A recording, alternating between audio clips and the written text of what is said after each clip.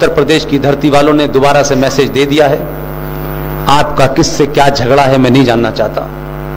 मैं इस बात से खुश हूँ कि इस बदलाव ने सनातनियों को यह बोध करा दिया है कि जो ये कहता है कि जिस भाषा में जवाब चाहते हो उसी भाषा में समझा दूँगा। जो ऐसी भाषा बोलने वाले, ऐसे ही अंदाज में बात करने वाले लोगों को जब सत्ता आप सौंपते हैं तो वो उसको इस बात की चिंता नहीं होती। और मुझे मालूम है कि जब पहली बार वो मुख्यमंत्री बने थे तो वहाँ प्रेस कॉन्फ्रेंस हो रही थी। बड़े सारे पत्रकार थे। इसलिए ये जो करेज है, ये जब ही आएगा जब आप लालच से बाहर आएँगे। प्रेस कॉन्फ्रेंस हुई, उनसे एक सवाल कहा गया कि आप एक संत हैं, योगी हैं, आप मठ के, मठ को चलाते हैं आपको मुख्यमंत्री बनके कैसा लग रहा है? उसका एक लाइन का जवाब है। उससे उसके चरित्र का पता चलता है। उसने कहा कि जिस मठ का मैं योगी हूँ, उसके सामने इस चेयर सीएम की कुर्सी की औकात क्या है?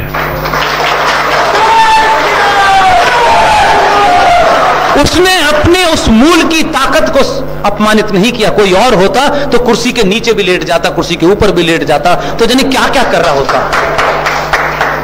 उस कुर्सी के लिए माँ, बहन, भाई सबको दाव पे लगा देता।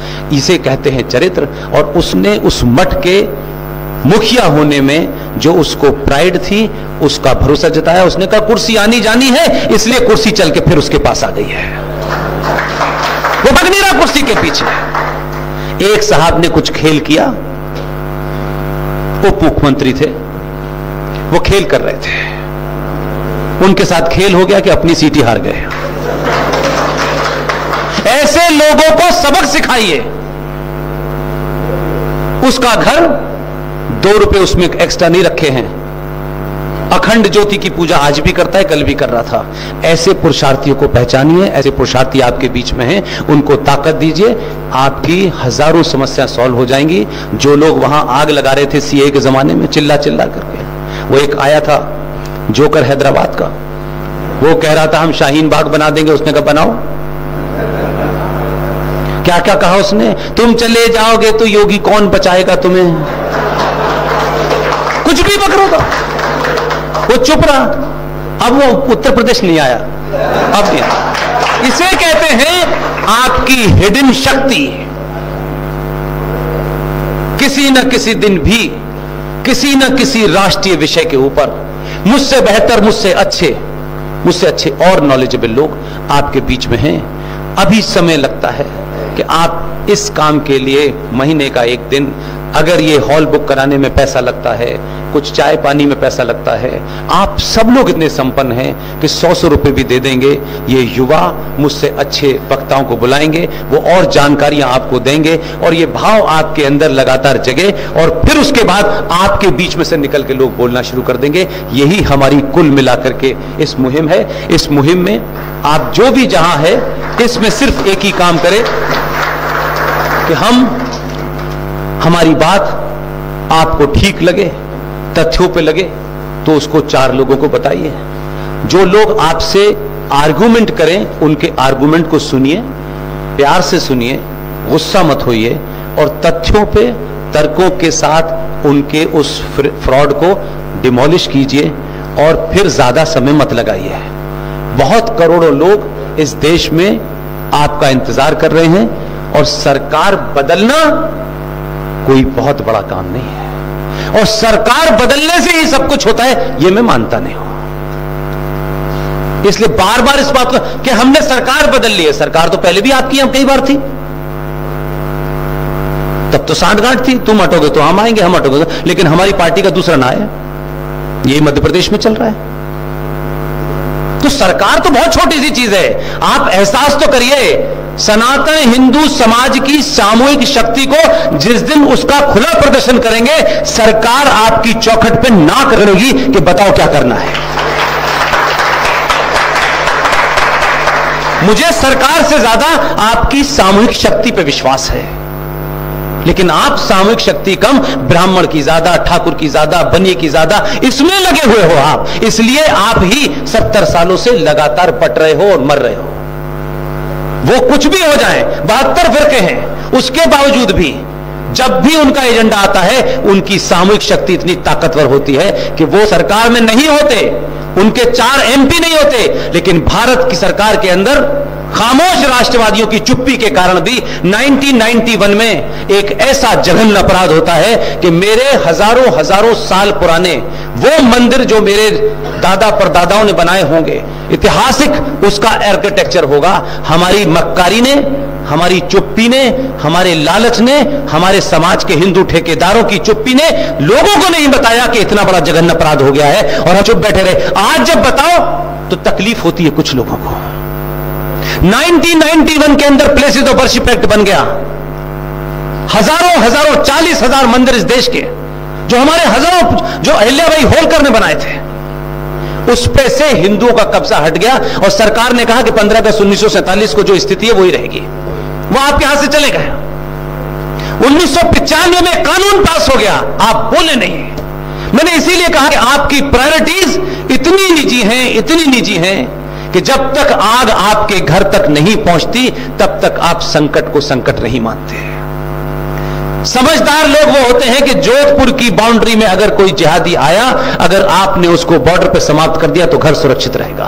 लेकिन आप इंतज़ार करते हैं कि शर्मा जी के घर ही तो हुआ है, वर्मा जी के यहाँ तो नहीं हुआ। शर्मा जी के आग लगेगी तो वो वर्मा जी को कोसेंगे, और वर्मा जी की आग लगेगी तो वो शर्मा जी को कोसेंगे। भाई साहब, इससे समाज नहीं चलता है। लिहाजा मेरा सिर्फ़ इतना ही कहना है। बहुत सारी बात मैं आपसे कर सकता था। समय का अभाव है। एकमात्र इशू है जो मेरे लिए और इस देश में, चाहे वो कांग्रेसी हो, चाहे सपा हो, बसपा हो, जो भी भारतीय है, उसके लिए सबसे महत्वपूर्ण विषय यही है। और ये ऐसा है कि अगर आप ये कहें कि मैं दोपहर का खाना खा लूँ, मैं समझता हूँ उससे भी ज़्यादा ज़रूरी है। इतनी उसकी इमीडिएट नीड है। 1923 में अंग्रेज़ों ने कानून बनाया था, वफ बोर्ड। वो फिर उसके बाद में 1956 में उसमें अमेंडमेंट हो गया। फिर उन्नीस में उसमें अमेंडमेंट हो गया। फिर 2013 में वो कानून बना। इतने इतने हमारे यहाँ लंबी लंबी भाषण देने वाले दस दस घंटे राष्ट्र के नाम पे। आपको यह नहीं बता रहे हैं कि आपका घर गया आपके हाथ से। भजन करो, कीर्तन करो, मंदिर बनाओ, जो हमारे पूर्वज बना के गए थे उस पर तो हम बोले नहीं। उन्नीस सौ इक्यानवे में हमारी कोई गिनती थी पार्लियामेंट में नहीं? और अगर हम नहीं रोक पाए थे तो मेरी और जीडी और आरएसएन सुशील पंडित की तरह गली गली चिल्लाते, लोगों को पता तो चल जाता क्योंकि आपको पता ही नहीं है। तो आप कुछ तो करते। इस देश में वफ प्रॉपर्टी कानून 2013 में पास हो गया।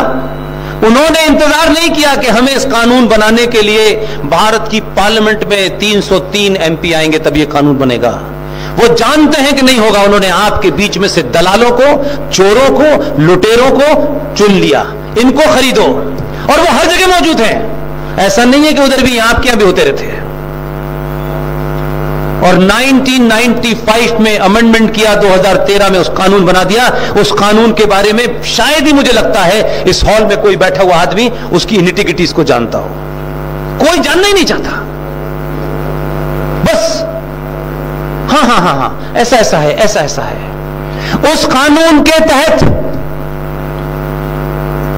आंध्र प्रदेश हाई कोर्ट के अंदर एक जज साहब ने एक पिटीशन एक्सेप्ट की, ये कहते हुए कि ये संविधान के तहत भारत की संसद में पास हो गया है, इस पर मेरा अधिकार नहीं है, लेकिन मैं इसको समझना चाहता हूँ। इसलिए उन्होंने उसको एक्सेप्ट की, और ये उनके ऑब्जर्वेशन है, मेरे ऑब्जर्वेशन नहीं है।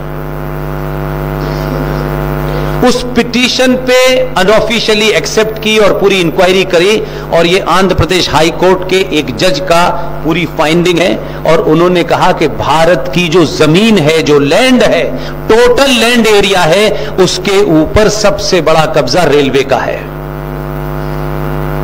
नंबर दो पे जो भारत की ज़मीन है, वो डिफेंस के पास है।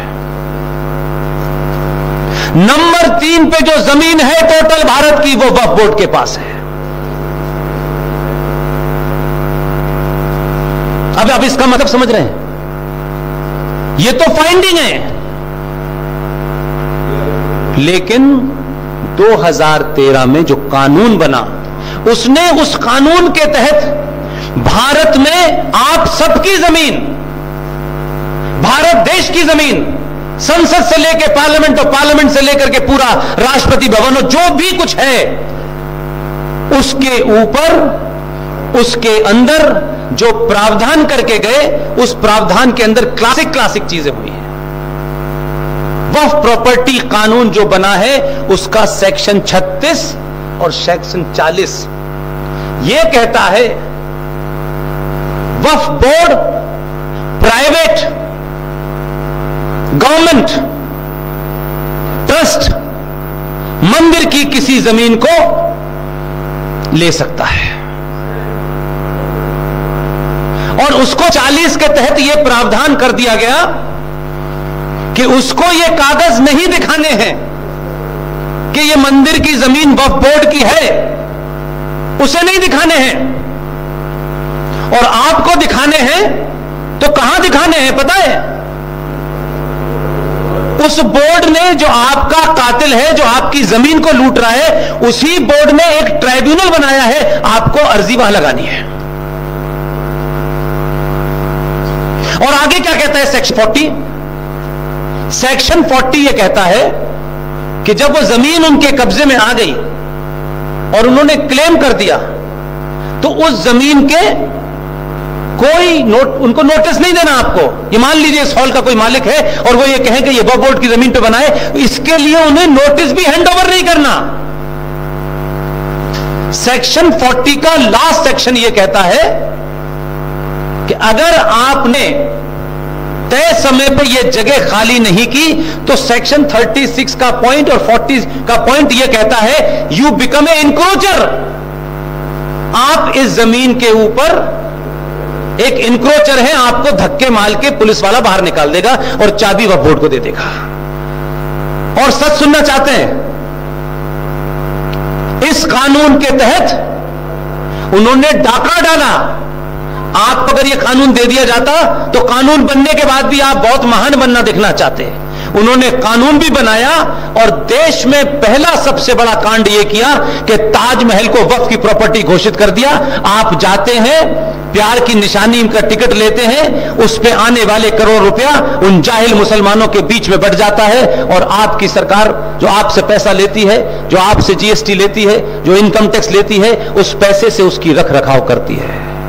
2005 से यह ताजमहल उनकी प्रॉपर्टी घोषित हो गया है। दिल्ली के अंदर कई मकान खाली कर दिए गए हैं, क्योंकि आप जानना नहीं चाहते। क्योंकि आपका मकान सुरक्षित है, क्योंकि आपके मकान का गेट लोहे का है, दो गार्ड खड़े हैं। आप ये समझ रहे हैं कि ये गार्ड और गेट आपको रोक पाएँगे, ये नहीं रोक पाएँगे। अब आप सोचिए कि इस देश की ज़मीन को अगर हम तीन टुकड़ों में बांट भी लें, और ये जज साहब का है भाई, सबसे ज़्यादा रेलवे को दे दिया, फिर डिफेंस को दे दिया, फिर बोर्ड को दे दिया। ठीक है सर अब उस ज़मीन के उस हिस्से में से एक हिस्सा रह गया। भाई, चार टुकड़ों में से तीन टुकड़े तो हो गए ना, आपको समझ में आ गए? कि भाई रेलवे के पास चला गया डिफेंस के पास चला गया, और वह बोर्ड के पास चला गया। अब वो जो लास्ट हिस्सा है, उसमें नब्बे करोड़ हिंदू भी रह रहे हैं और छब्बीस, बीस करोड़ मुसलमान भी रह रहे हैं।